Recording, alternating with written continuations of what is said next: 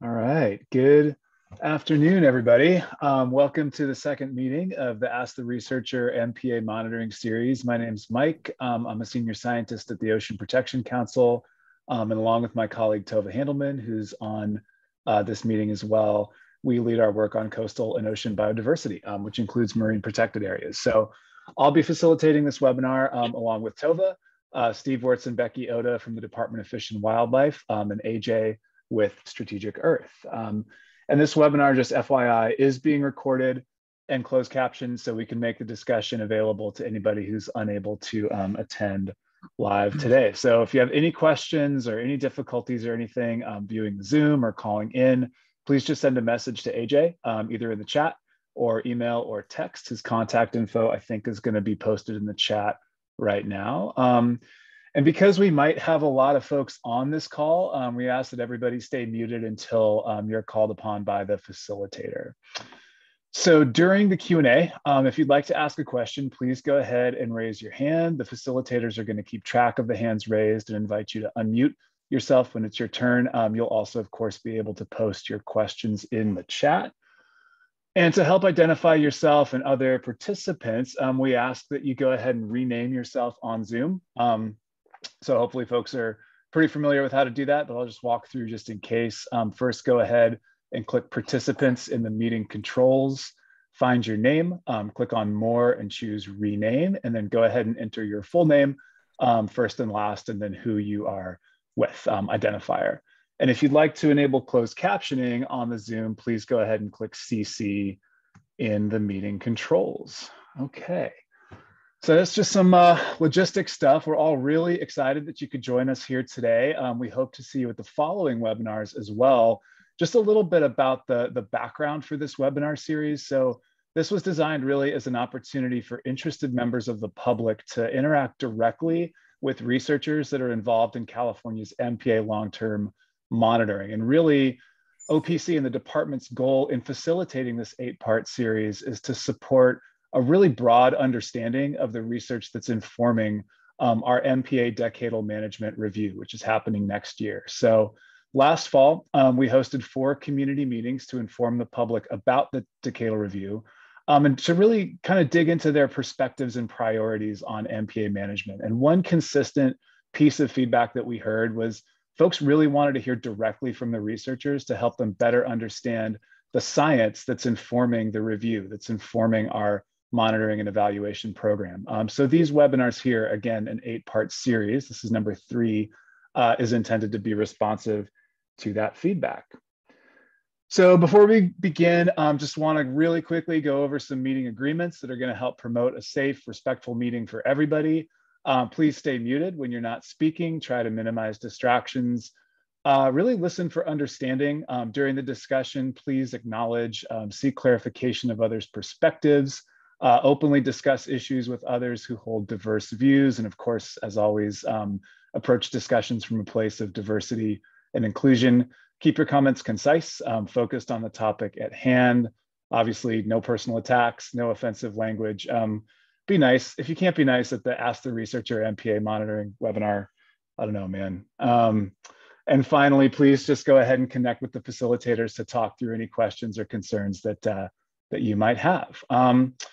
So we're very fortunate today to be joined by Dr. Henry Ruhl um, from the Monterey Bay Aquarium Research Institute and Natalie Lowe from California Academy of Sciences. They will give a brief presentation on their work on ocean conditions observing systems um, in the MPA network.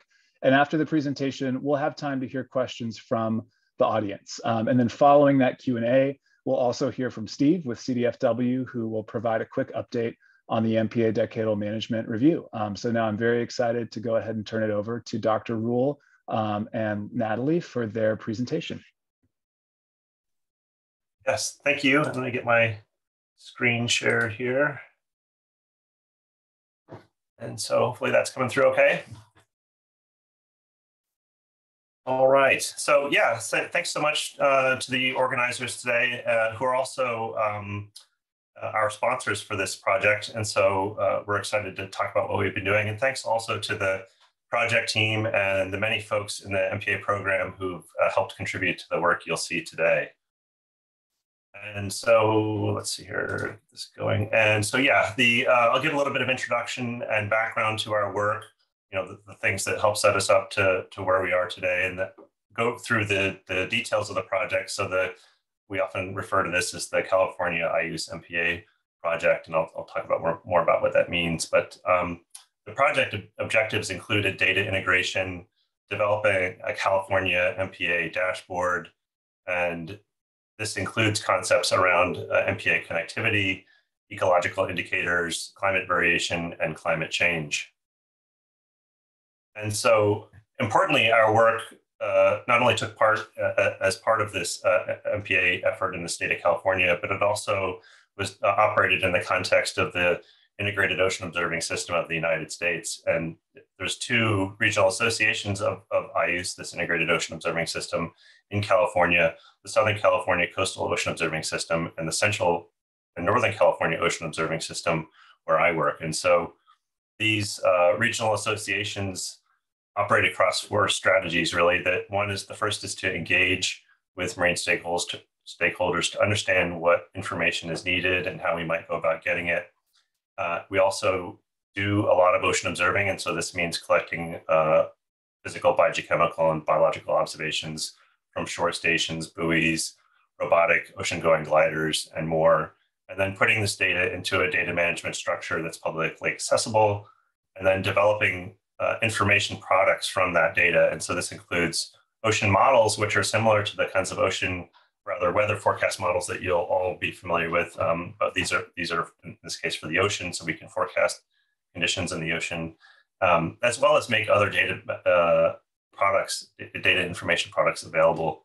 And you'll hear about more of those uh, today. And we do this through a sort of a process of continuous improvement, which you see on the right there, sort of a, a cycle of um, getting feedback, and that's part of what we're doing today. And so the project team included, again, those from the Central Northern California Ocean Observing System. And Natalie Lowe uh, worked as part of our team. She's now at the Cal Academy, as was mentioned, and she'll, she'll talk a little bit more uh, in a bit. And we also had folks from the Southern California team and Axiom Data Science as one of our data management partners in, in uh, our program, as well as uh, Chris Edwards and Patrick Drake, also from the University of California Santa Cruz. And so one of the things I wanted to start with in terms of concepts was the sort of interplay between weather, climate variability, and climate change. And so, you know, the MPA program now has, um, in some cases, a couple of decades of data, depending on the series we're talking about. But we're now bridging between what is commonly referred to as weather in terms of the, you know, when you go out and make an observation on any given day, you're in the sort of framework of weather. But as these observations build over time, you bridge into uh, variability and then uh, eventually change. And one of the common uh, things that we refer to in terms of climate uh, is with the El Nino Southern Oscillation or El Nino and La Nina that influence our region. And I'll talk a little bit more about that as well. But just to think about what climate variability and change mean. So here's a time series of uh, temperature globally from the Intergovernmental Panel on Climate Change, and we can just look at the last uh, couple of decades of data as this breakout on the right-hand side of the screen there. And what you're looking at there is yearly data of temperature where the variability is about an order magnitude higher than the progressive um, climate change rate. And so disentangling these two signals is challenging. It's challenging in the ocean as well.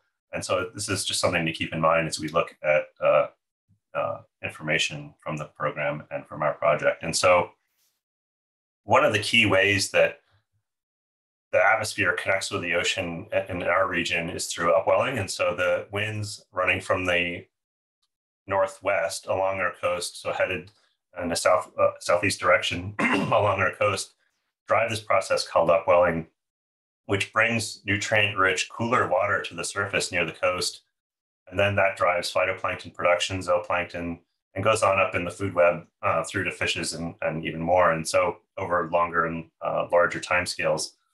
And this really, um, it co-varies with things like El Nino, and it really drives coastal ecosystem change in our region. So it's an important process to bear in mind. and so another concept is this concept of seascapes. And so as conditions change, uh, they can be sort of classified into a number of different uh, categories, if you like, and so that there's a table on the right-hand side describing many of them. globally in a map of seascapes for the world here on the left side. And these seascapes can be generated using information from satellites, including sea surface temperature, uh, salinity, and also things like chlorophyll, which chlorophyll, as many of you will appreciate, is an indicator of um, production in the ocean and the amount of food availability in the ocean. And so as we generate longer time series of where these seascapes are, what the, what the extent of them is, and how they change over time, we build a, a situation going from snapshot, excuse me, through it to a time series of understanding um, variability and change. And so we see one of the seascapes in our region, not surprisingly, is tropical, subtropical upwelling. and we'll come back to how these things change a little bit later. And so these, these concepts that you've heard about um, helped frame the thinking for our project. There's a series of workshops and reports and papers that have helped guide this for us uh, over time, as well as the uh, detailed work of the program itself uh, and framing action plans and other things. And so our questions for our project at high level were how can changes in MPA condition be attributable, to MPA management and or other phenomena such as regional climate change? And how can data from various investigators, locations, habitats, and methods be integrated to produce robust assessments of change? Excuse me. and key indicators that are useful for MPA management. And so one of the key things that we worked on in the project is the integration of data into common time and space domains. And so this allows for more ready analysis of data. And so here we have some tables of the kinds of data that we've been working with and the years in which those data are available. And one of the key things that we did in this work is to, excuse me, um, put, the, put this into interoperable formats that are machine readable and then with metadata that allows for easier onward use of this data in the future. So this adds to the repeat, repeat, repeatability of analyses and the robustness of analyses. And so some of the kinds of data that we worked with include climate indicators like those that are indicative of El Nino or other things, upwelling, sea surface temperature, the amount of food uh, in, in the water column in terms of net primary productivity, as well as water clarity and wave energy. And also biogeochemistry in terms of um, indicators of ocean acidification. As well as um, perhaps most importantly, data from the monitoring program itself across several habitats. And so this included information from the California Collaborative uh, Fisheries Research Program, CCFRP, the Multi-Agency Intertidal Network, so MARINe, and the Partnership for Interdisciplinary Studies uh, of, of, Coastal Oceans, so PISCO. And so this includes, you know, rocky intertidal areas, kelp habitats, uh, fish and kelp and invertebrates. And there's also data from the uh, uh Reef Check California Diver Survey Program, as well as information from things like satellite data on kelp canopy cover and biomass, and the seascapes I've mentioned, as well as uh, an indicator of harmful algal bloom risk. So many of you will appreciate that harmful algal blooms can be, uh, they produce toxins and uh, these can be harmful to both marine life and humans.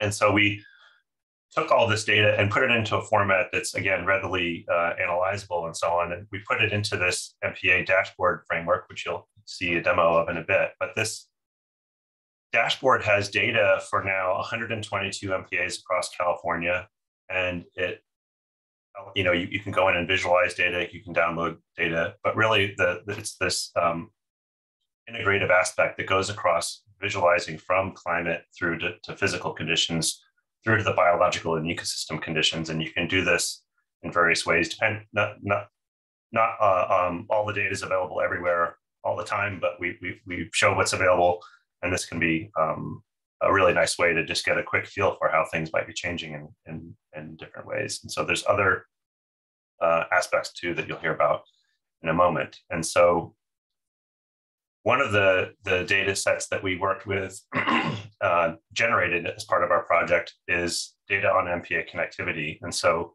I think many of you will appreciate that the MPA program was established in part with uh, understanding uh, of the fact that when you establish an MPA, this can be a sort of a source of, of marine life for other areas of the coast that are non-MPAs.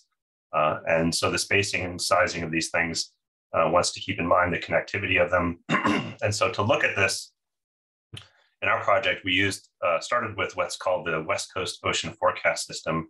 And the, the domain of that model uh, is shown on the left-hand side of your screen running from well into British Columbia down through Baja, Mexico. and this produces forecasts of things like ocean currents. And so uh, we use this information and built inside of this model high resolution high resolution nests. And what this means is uh, high resolution estimates of where um, currents are taking, uh, you know, perhaps uh, larval fish or or other plankton. And we focused on the Monterey Bay area where we have a resolution of about 160 meters, which is per pixel of the model, which is very high resolution. And on the right side of your screen, you can see a, a, a simulation where we release um, particles, sort of theoretical particles representing um, marine life in the model. So like, for example, fish larvae and where they, we can see where they might go over a number of days and you can see the distribution um, leaving a Monterey Bay, uh, basically down by Pacific Grove. Um, you can see particles leaving that area and where they might be going over a period of days. And this then allows us to answer questions such as how does the distance and larval contribution between a source MPA and sink MPA influence the ecosystem response inside the sink MPA? And then how does the level of connectivity and larval supply from an MPA to out areas outside of the MPAs uh, affect fisheries? And so to drill down in this a little bit more, I want to remind you that with these particles, we can assign different behaviors to them that are similar to what you might find with marine life, meaning that the particles can have different larval durations and so the different lifetimes uh, uh, when they're in this um, planktonic stage of being carried by the currents. They can have different behavior in terms of remaining in the surface or vertically migrating and so on. And we can then um, simulate the sort of life histories of crabs and uh, fish and other things. and so looking at the center of your screen there, you'll see that some of the MPAs in the Monterey Bay area in the blue and then we have what are called, you might think of them as settling areas or sinks. They're numbered along the coast there, 1 through 27. And we can then estimate how particles are moving from the MPAs into these other areas. And so on the right side of your screen, we have a graph that illustrates quantification of that. So on the bottom, you'll see the MPA abbreviations release MPAs. And so, and those are shown there on the screen as well. And on the vertical axis of that uh, plot, we see the settling cell, location along the coast where the, the particles or, or larvae might be settling. And this is an um, estimate over a few, a few days, about a week. and then we can extend that out to a longer period. And we can see that um, the MPA, the way this is working across all the scenarios uh, that we've looked at, the nearshore cells received modeled larvae from at least one of the MPA locations within the greater Monterey Bay area. And this is sort of an indication that the spacing and, and functioning of the MPAs in terms of connectivity is, is actually looking uh, rather good. And so this, this sort of life, lifetime that you're seeing here is common for many fish and, and crabs and, and other things. And so,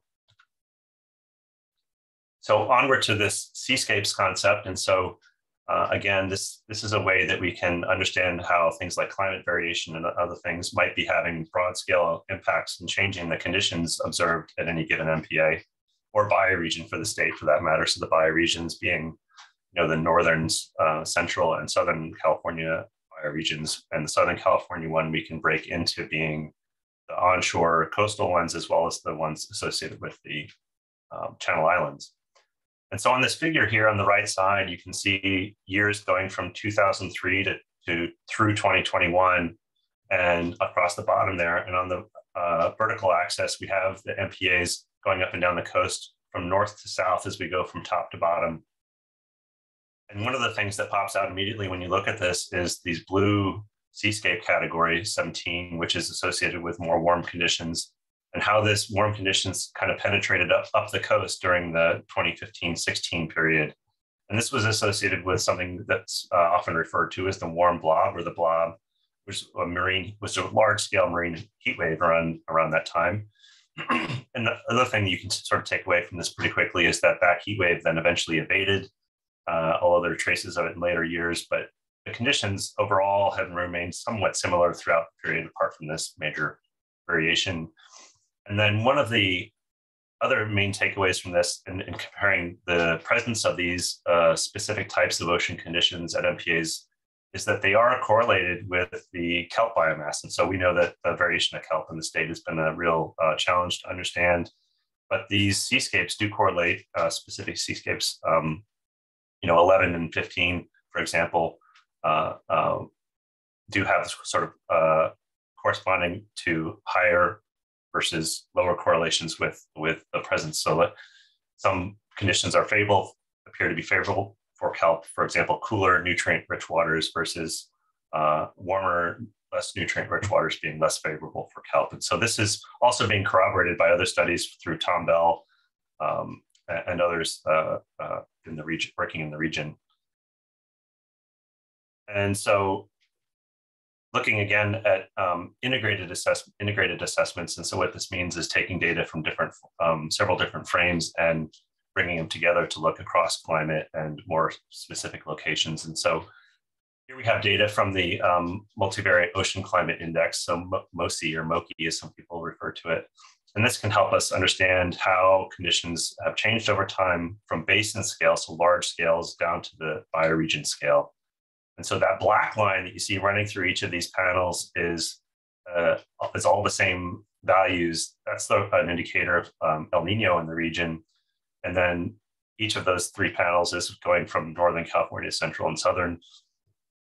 And this is, um, and the, the, the, the, the colors is the, the MOCI indicator for each of those bioregions where the, the red is associated with more El Nino and warmer conditions and the blue more La Nina and cooler conditions. And you can see that there are very similar patterns, but there, there are tighter correlations between the um, Northern California area and the, the, more global scale patterns than we see in the South.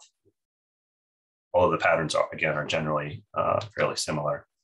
And so we can drill down even more and we can look at how the, the MOCI climate variation there at the top of this panel then relates to upwelling, sea surface temperature, productivity and water clarity, wave height and power, uh, and kelp cover, for example, how this relates at the scale of bioregions, but we also have undertaken develop these series for dozens of specific MPAs.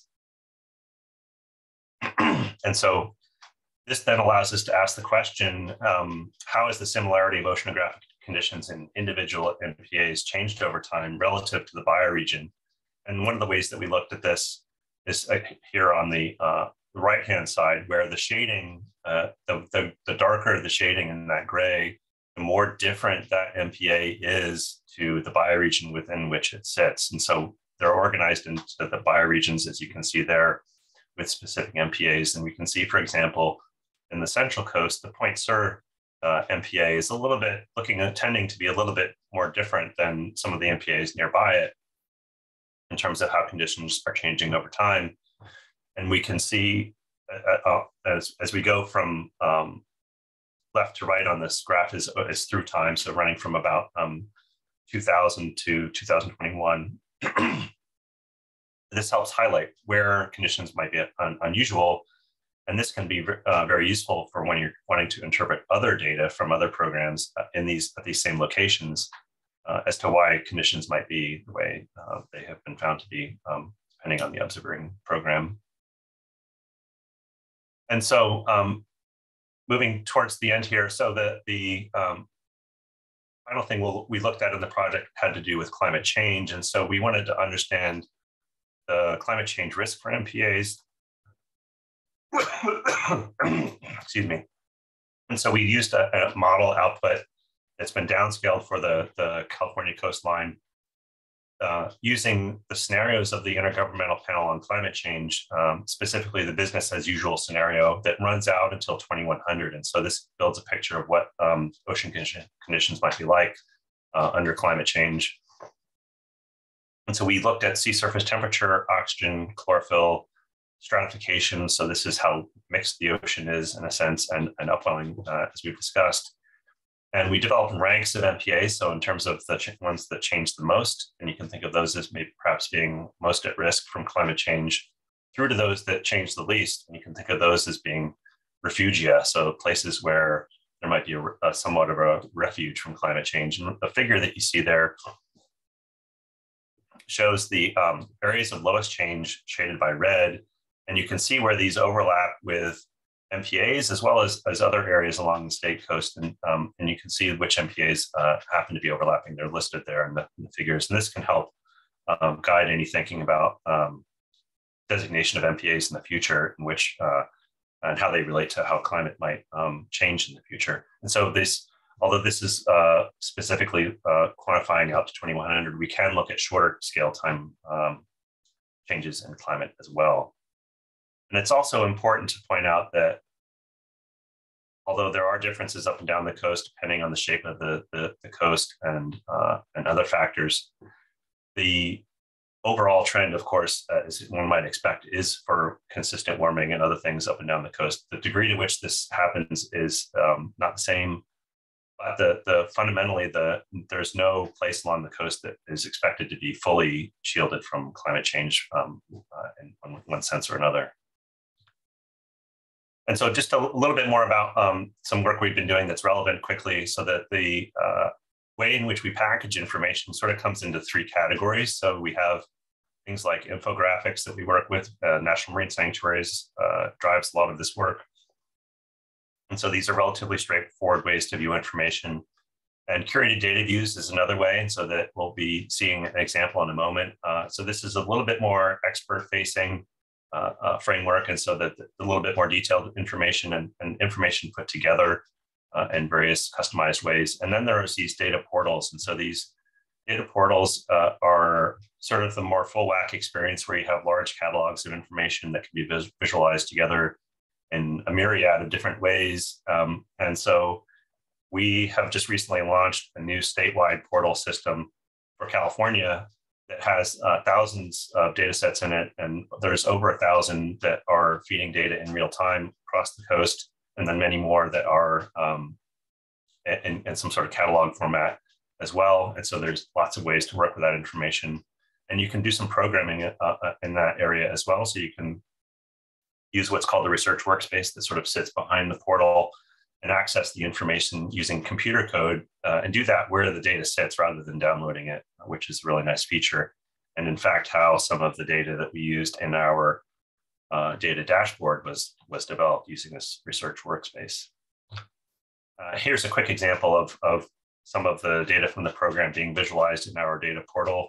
You can go in there and have a quick view of the data in terms of how it fits in time series and see if it's something you might want to work with uh, more closely later. I also wanted to highlight that some of the, these papers here are from an oceanography magazine volume that was published recently that is part of the Marine Biodiversity Observation Network and is really centered around the National Marine Sanctuary framework. But these national marine sanctuaries are a form of mixed use marine protected area. So there's some relevant uh, content in these papers might be of interest for the audience. And then finally, just acknowledging the many folks who have helped contribute to this. We had lots of discussions with people working in the program and other experts. And so we really appreciate all the time that went into that. And so with that, I'll stop and hand over to Natalie. All right.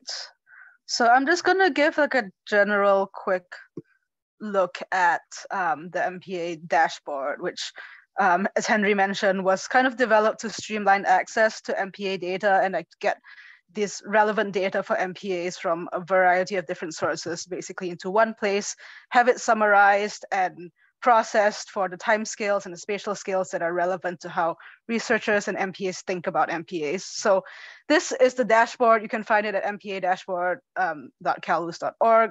Um, um, and the, you know, here you can see like the, the map of the California coasts with, um, with MPAs highlighted. And MPAs can be selected from the, the drop-down menu, or you can kind of go in there look at where different groups um, have their long-term monitoring sites, um, pick an MPA from by clicking it on it um, directly. and then you pull up a bunch of variables, um, both ecological and environmental variables that, that exist for that site. So for example, you know, here we have, we can throw on a bunch of um, different environmental variables, and it will start to pull up these plots of what that looks like um, at this site. You can put on, go look at um, data from CCFRP, looking at fish. Um, yeah, so so we can, you know, put in a bunch of these environmental variables, and it, it will start to generate these sequences of plots.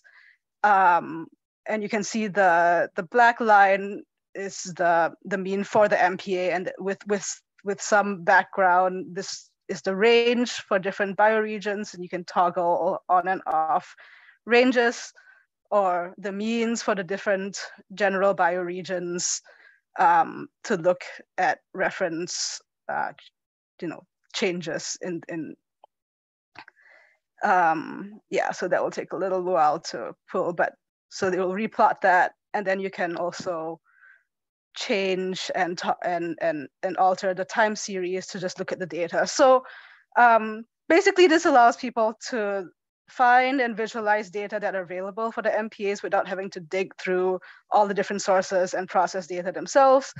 Um, and then more importantly, these data can be downloaded um, by different sites. So if you pick that, um, yeah, so those data can be pulled up and downloaded. Um, so this is basically trying to be like a place where you can access all these relevant data. Um, so that this is you know just for the MPA time series data, but as Henry mentioned, there are also other um, integrated model outputs for different variables that don't necessarily come in linear time series. So Henry talked about um, the seascape classifications that we can use to understand variation and change. And so this is going to take a little while to pull up, but um, there's you know a way to visualize those seascapes both in terms of spatial maps, which is loading. It's a little bit large, but um, and then also by time series. So I'm going to wait for this to come up.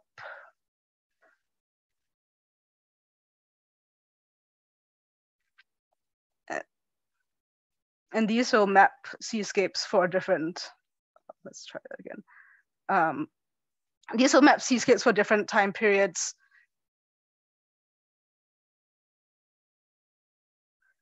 But we can also plot them by different time, yeah, time series and by different uh, bioregions. So these will pull up some of the the similar figures to what Henry showed in the, yeah, okay, so this, this it pulls up by map. Um, you can plot that by individual MPAs and look at time series of seascapes um, over the time that you define and then also look at it by bioregion.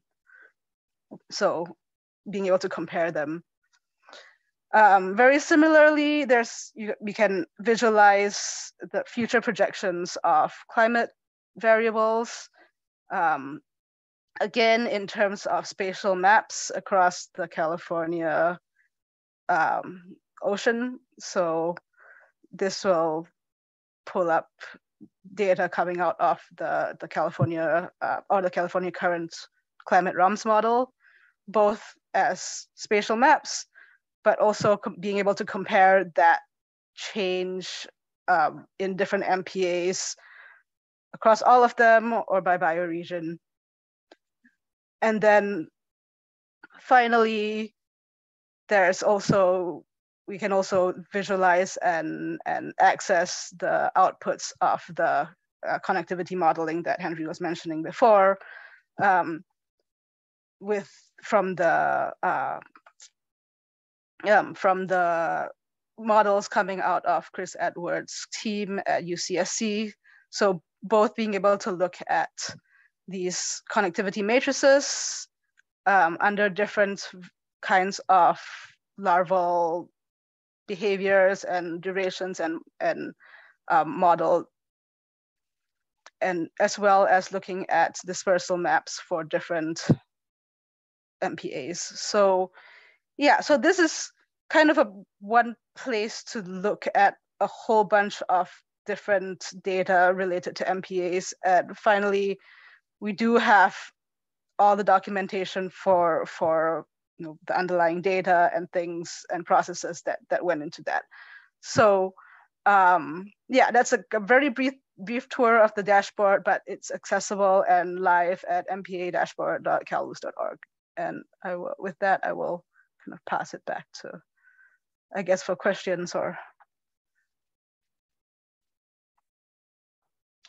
Yeah, thank you um, so much, Dr. Lowe and Dr. Ruhl. Um, really great presentation. I think just, you know, for somebody like myself um, who's been, you know, even tracking even me tracking this project really closely just seeing everything kind of laid out in one cohesive compelling story like that is um, is really awesome so let's move on to questions um, we've got just a little under 20 minutes um, to answer audience questions so uh, obviously please keep your questions relevant to the topics at hand so specifically relevant to um, what dr lowe and dr ruhl just presented uh, and we're hoping to leave space for everyone who wants to speak to have a chance to speak. Um, so please go ahead and raise your hand uh, or press star six if you're joining via phone.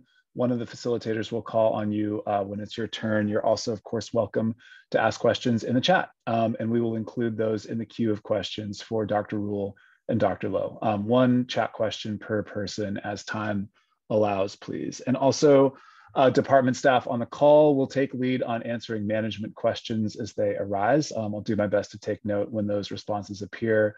We might not get to all of your questions today, um, so we do strongly encourage you all to review the recording, um, review also the snapshot report or the full report for this project that's available on OPC um, and the department's websites, and follow up by sending any outstanding questions to the Decadal Management Review email address, which I know AJ is going to post um, right now. Okay, so let's move on to questions. Um, seeing a few pop up here. So we have a recommendation from Cindy Dawson. It would be helpful to have reef check sites as a layer on the map, um, like PISCO and CCFRP. Good recommendation. Thank you, Cindy. Um, any other questions coming up? I'm not seeing any. Um, I've got some questions. Dr. Ruhl and Dr. Lowe, if you'll uh, if you'll indulge indulge me. So maybe starting, I've got some technical and some that are more high level. So maybe I'll start with um, with a technical question. So that that slide with the seascape categories that you presented, it looked like it showed the most change during those marine heat wave years in Southern California. Um, obviously, we all know that that the marine heat wave also had devastating effects on the the north coast, really kind of transformed those ecosystems. So I'm wondering if you could speak a little bit to exactly what those seascape categories represent and why it seems like the um, the greatest magnitude of change, at least on that graph, was was found in um, Southern California MPAs. Yep, that's a great question. So that the um, 17 there, I believe, is a uh, subtropical, more tropical uh, seascape. And um, they do have some overlap. And one of the things that's ongoing is trying to develop an understanding of what goes along with each of these seascapes and the, the, the work to describe how kelp biomass seems to be related to these is one of those pieces, but there's other features that we're trying to understand better. And that includes, uh, for example, how different seascapes are related to like forage fish abundance. And so many folks will know the story um, of how anchovies and sardines sometimes have opposing variations on, on the coast, and that's been related to El Nino. And of course, these these things are related. And so there's still work to try and understand that, but the, the fundamental thing here is is to do with uh, is sort of self-evident in the sense that these these seascapes can pick up change. And and one of the things that came across to me when I was doing this, we did a little bit of analysis to understand at each MPA, like so does the seascape see the same kind of variation as when we look at the variation specifically across the, the upwelling, the temperature, the salinity, and so on. And so the seascapes were corresponding very well. It's not a surprise because that, although they're doing it from satellite, um, uh, and some of the data sets that we looked at are the same, we were able to sort of recreate the seascape, um, if you like, from other components of data. And so this added a lot of confidence for us in that the seascapes that we're seeing at, at the level MPAs was actually informative of real change. And so, um, and we can go back into the table uh, that we have. Um, there's a table that describes the seascapes as well in terms of what their, what their character is. Um, in terms of some of them relate to more saline or less saline conditions, some relate to upwelling, some relate to more nutrients being available. And so they're really different combinations of things, but they're distinct enough that they can sort of be classified into these these bins, if you like. Uh, and so the the the and the, I guess to, to, your question specifically about about why the, the one was particularly visible. I think you know there's other categories like 14 where that's probably also visible. It's less visible in this figure, but 14 also seemed to have varied a bit like that uh, all the way up and down the coast, um, in sort of an in- inverse way to the 17 but um, the Southern California bight is does behave a little bit more differently than the rest of the coastline, and this is not a surprise, and it's one of the reasons why the bioregions were set up the way they are. But the the, the marine heat wave in particular seemed to sort of break down that boundary in a sense, um, perhaps in, in relation to sort of relaxed wind conditions and other things. But yeah. Great. Yeah, thank you. That that really helps. Um, Looks like we had a question from Nicole, but Dr. Lowe has responded in the chat. Um, maybe I'll just see if you have anything to add um, verbally, Dr. Lowe. So Nicole had said, such a cool resource. Um, I, I totally agree with that. How does this MPA dashboard relate to or integrate with other MPA data resources? So like the DataONE portal where all the long-term monitoring data and baseline data is now available, um, Marine BIOS, which is hosted by the department, et cetera um, is this dashboard that you've created the primary one to point people to with MPA data questions? Yeah, I can add to what I've said. So um, the the data that we've processed, you know, a lot of the the work that went into this is actually kind of on the back end in processing those data and getting them into consistent formats. Um, and so those data are actually available on the OPC DataONE node um, as part of this project um, in both annual and, and um, monthly summaries. And the data that we have from the other ecological monitoring groups, such as CCFRP, PISCO, MARINe, they come from the, the data that those groups have put on DataONE. And we have these processing scripts that take them off, process them and then have them in things. So there, there is a data stream that is replicable and can be updated as they update their data. And we would hope that this would be a good place to point people to look for MPA data as a first stop. Um, we've also, you know, there's a lot of these underlying data that are processed in the ways that we think are most useful, but we've also had, we've also taken that data on the back end and processed it for specific groups um, in different ways. So I think this is this will be the first stop. But if there's there's like a data set that looks like, oh well, you have it in this form, but maybe we went in a slightly different form. That's something that that we can also provide. We've done similar sorts of summaries for the the National Marine Sanctuaries folks, which are not MPAs, but um, you know the underlying data are the same and can be processed in slightly different ways. So that, yeah, I hope that answers that question. That's great. Thank you.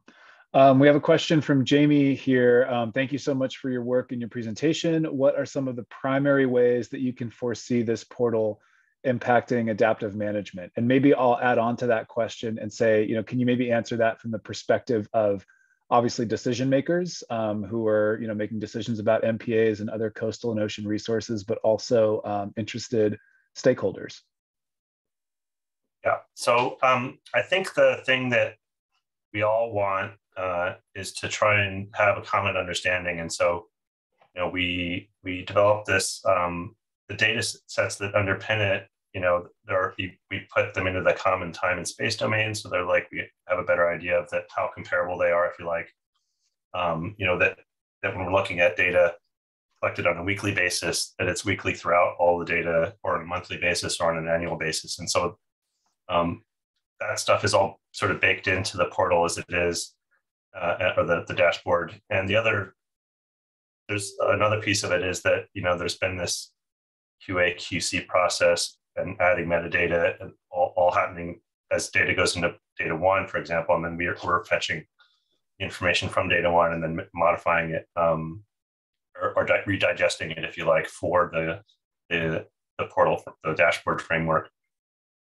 And then, so when p- people go to it, it's the scientists and anyone that goes to that place sees the same thing. And so that it builds that sort of common understanding of, uh, of, of how things you know might be changing or not. And that to me is one of the most powerful things in terms of um, having that information available. And it's we want to make it digestible in different ways. So that's you can change the features of the dashboard to, to suit your interest, as well as the, the other portal that I was showing. There's other ways to, to visualize, and so that it's you know giving empowering people with the information that they need to make decisions and you know the values that you then add on top of that have to do with you know sustainability uh, versus growing the blue economy and things like that. But I think it's the scientists and, and managers and, and, and the rest that are looking for the for that um, common understanding. So.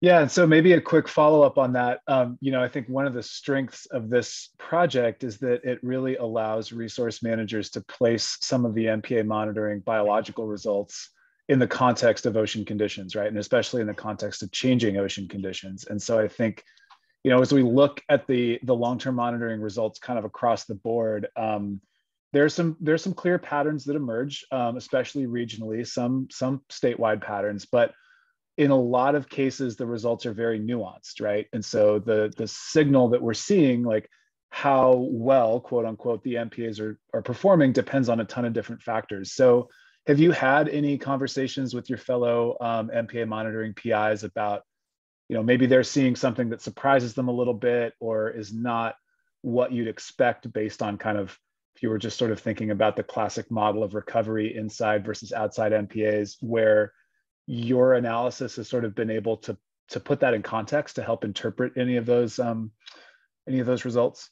I think the one that comes to mind most is the situation with kelp.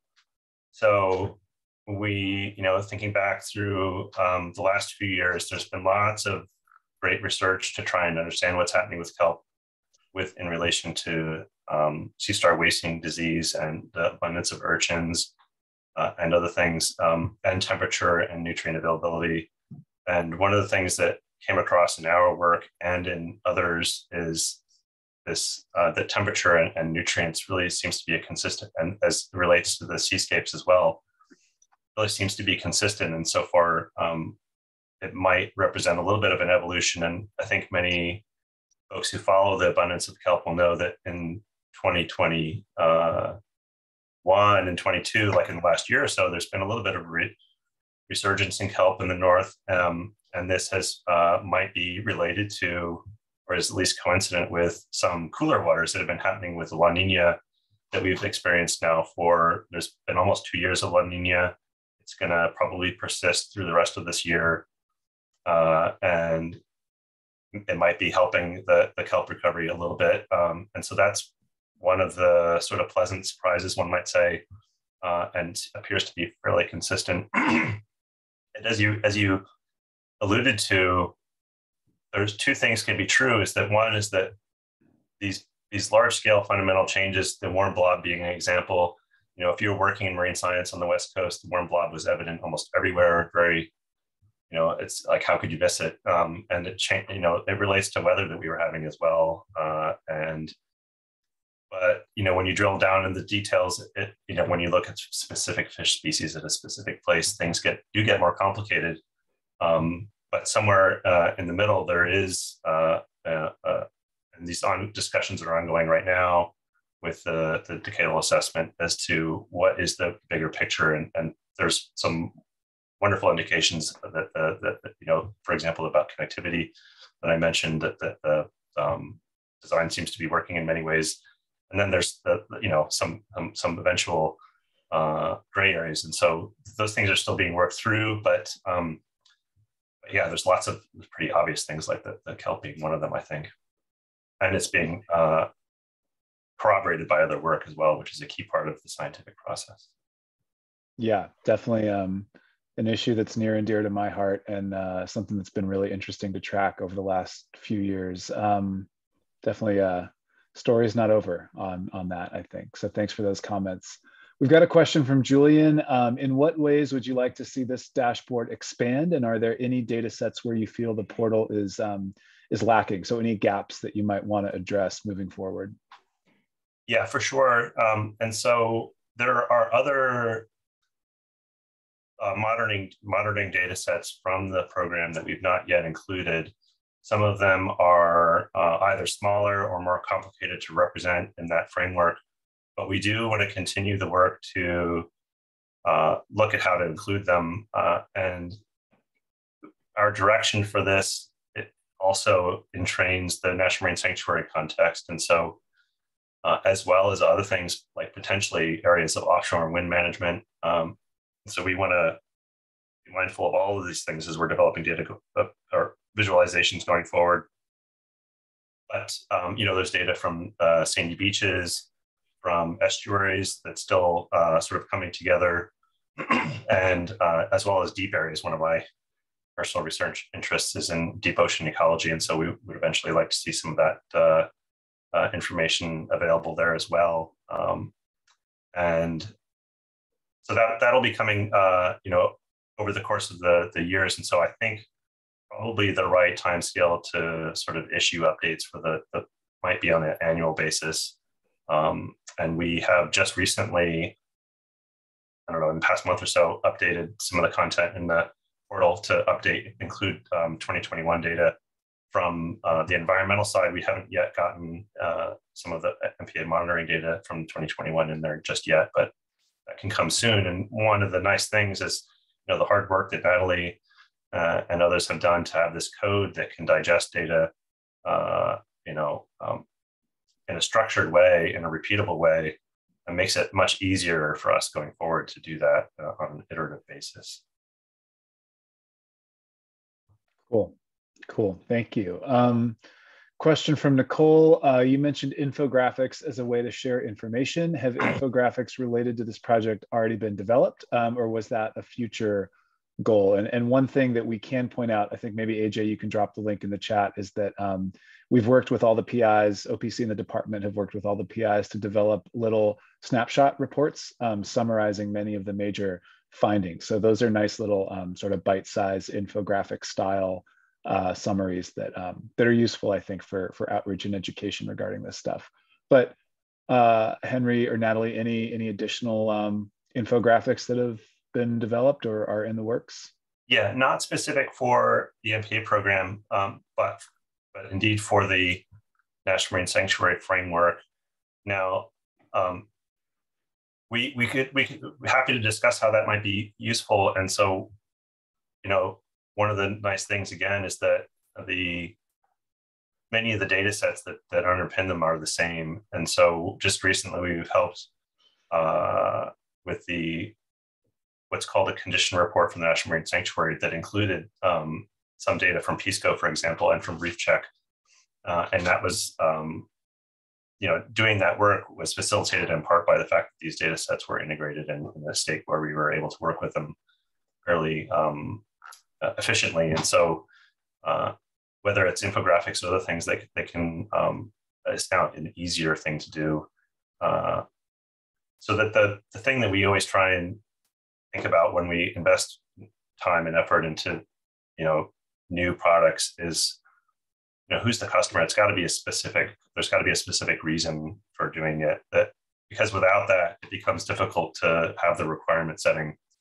Um, and there is of course some sometimes when we want to showcase what we think might be useful um, but you know we're happy to have discussions uh, about specific demographic uh, drivers if they're of interest to folks in the audience so. that's great Thank you. Um, I think just noting the time, I'm going to move us along. So thanks everyone for all of your great questions. That was a really fascinating discussion. Um, I'm going to turn it over now to Steve Wertz, who will give us a brief update on the decadal management review. Great, thanks, Mike. And once again, thanks, thanks Henry and Natalie and crew for that amazing uh, overview of technologies and the sources of information that can help inform uh, California's uh, resources of its marine, its marine resources. It's amazing. So over the next couple slides, I just want to briefly recap why we're having this decadal management review, the components that'll go into the report and ways you can be engaged. Uh, as you may recall, uh, the planning process for California's network took place sequentially across four coastal regions from 2004 to 2012, resulting in 124 uh, marine protected areas and 14 special closures. Once California achieved that amazing goal, uh, the department developed or updated its master plan for marine protected areas from a siting and planning document to be a more forward-looking management document. And two key outcomes from that particular document was one, we established a 10 year management review cycle from the date or the year that the network was completed. And that was basically based on the life history and biology of the resources along the California coastline. And it was uh, administratively more feasible to do a comprehensive report every 10 years. The other key point that came out of the report or the master plan was a uh, monitoring uh, an MPA management program, which is composed of four pillars that you may be familiar with, and that's research and monitoring, outreach and education, policy and permitting, and enforcement and compliance. Uh, those are the pillars for the program. So now that we're in 2022, the department's been working with Ocean Protection Council, a variety of stakeholders and researchers to pull information together to inform how the network is functioning. You know, working as it was designed, and it was encouraging to see some of that brief modeling stuff that uh, the particles that Henry spoke about uh, to see the transport of the larvae from source sites to MPA sites. That's hopefully we're going to hear more about that in the coming months. Um, but essentially, all of the uh, presentations that are set up for this, this series of workshops, ask the researcher, that information is going to be integrated into a report that we're developing for the Fish and Game Commission. The report's going to be developed uh, and released in January of 2023 for the public, and the commission will receive it in February. At that time, the commission will uh, just formally receive it, probably get an update from the department about the intricacies of the report, and then moving into March, there'll be a full discussion about the adaptive management recommendations and any other aspect of the report that the commission is interested in. And that'll probably roll over into April of 2023, where the commission will probably give the department some directions and next steps moving forward. Um, so the report itself will include this research and monitoring data you've been hearing about. And if you haven't seen the other webinars, the previous two, I recommend you check them out once they're available. Uh, we've been working with California Native American tribes uh, to get a better understanding of traditional ecological knowledge and tribal perspective on MPAs and how T TEK can inform management. Uh, we've been working with people like you and other ocean interest groups to inform us about uh, the management program. Uh, there's each one of our pillars, we've got quite a wide range of people who are interested in providing input, which we've really very much appreciated in the development of this document and ongoing management. Internally, we're working with our wildlife enforcement, um, our fishery scientists, and our permitting program to uh, increase our knowledge about the program and the functionality of the network. So it's all being pooled together. And we were fortunate that the Ocean Protection Council funded three independent science groups to provide objective information to help in the evaluation. One was a group that uh, helped develop performance objectives uh, to test is the network working as it was designed. Another group looked at the potential for MPAs to show some resilience or be resilient to climate change. And the third group is taking all the information that was collected for each of the core habitats that were being monitored to inform this decadal management review and integrate that information uh, to learn more about the, um, the network at meeting the goals of the Marine Life Protection Act. We know that all this information is probably going to result in more gaps and uh, additional questions that we're going to need to answer, but that's a good thing. Um, will be this will also help refine our funding uh, for monitoring strategies moving forward to be cost effective. And ultimately, it's going to result in adaptive management recommendations uh, for the Fish and Game Commission. So um, we're we're working hard on this now, and uh, we really appreciate these webinars there uh, to keep the public informed and engaged moving into 2023. If you want to learn more about the Decadal Management Review, this slide shows a screenshot um, of our landing page. I recommend you check it out. I know AJ just, I think he just posted the link to it, so you don't have to worry about copying it down. There's also, um, you can send us emails. We try to respond within 48 hours. Uh, you can ask questions about the DMR, the Decadal Management Review, or MPAs in general. We just look forward to seeing input from you all. Um, I saw a question pop up in the chat while I was speaking, and in March of 2023, probably just before the MRC meeting, which is a subgroup of the full commission, we anticipate a, um, a symposium where we'll be discussing each of the pillars of the program. Uh, hopefully we'll have the scientists there to discuss, uh, talk about their research. Department staff will be there with OPC and it'll be open to the public to receive and to be engaged and to ask questions. So we're still working on the details of that. So definitely stay dialed in by checking out this webpage or going to the Ocean Protection Council's MPA site. Um, so with that, I just want to thank you all for your time. And once again, Henry and Natalie, great job. We really appreciate it. And I'll just pass, pass the mic back over to, to Mike. Thanks, Steve. Um, and thanks to everybody in the audience for being here today. Um, obviously, thank you so much to Dr. Lowe and Dr. Ruhl for joining us. You know, we really appreciate you taking the time to share your team science. Um, we know it was a team effort. And it's really our hope that these types of informal discussions are going to help make the science more accessible, um, make the science informing the decadal review and our MPA monitoring and evaluation program in general um, accessible, understandable, um, transparent to anyone who's interested. So as a reminder, um, the full long-term monitoring reports are available online on California Sea Grant's website, which we're posting in the chat now. Um, and as Steve noted, more information on the Decadal Review can be found on CDFW's DMR webpage, the Decadal Management Review webpage, also posted in the chat. Um, recordings of this meeting and future meetings like this are going to be posted to OPC's webpage and linked on the DMR page as well. Um, AJ will post that in the chat right now. Um, and our next Ask the Researcher webinar will be tomorrow, Friday, June 24th, um, again from 12 to 1 p.m. using the same Zoom link. So if you're down to uh, spend your lunch hour with us again tomorrow, you can hear some more about um, sandy beaches. So, uh, and that will be Dr. Jenny Dugan from UC Santa Barbara um, tomorrow.